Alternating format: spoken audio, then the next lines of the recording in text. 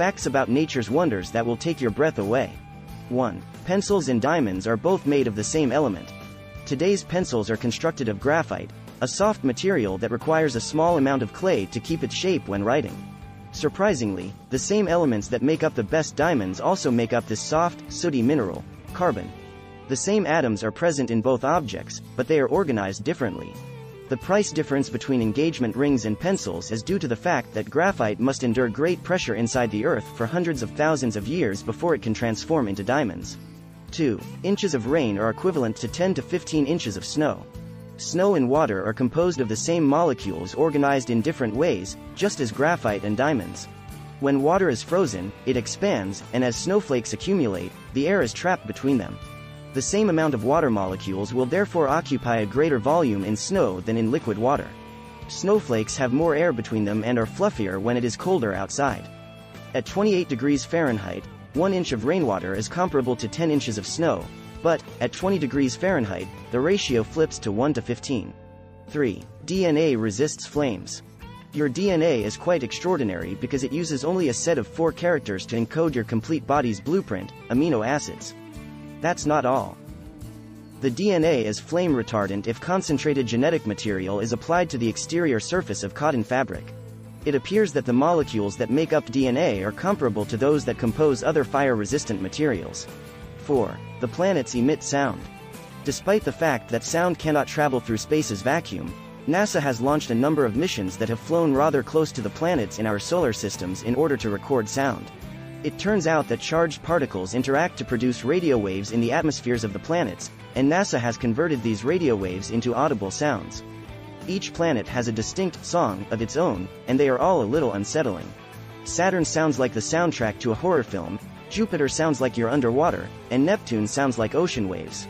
5. Puberty doesn't occur in Greenland sharks until they are 150 years old. The Greenland shark is the world's longest living vertebrate animal. It is one of the largest predators in the world, measuring 21 feet long and weighing 2,200 pounds.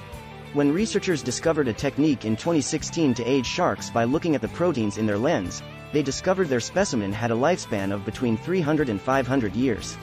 Greenland sharks develop relatively slowly, only gaining approximately a centimeter per year, maybe as a result of their lengthy lifespans. They also don't become sexually mature until they are 150 years old. 6. Glass is neither a liquid nor a solid. Glass is not a supercooled liquid, contrary to popular belief, nor is it an amorphous solid that lacks the rigid structure of a true solid. In between the two, I guess. 7. The first carrots grown were purple.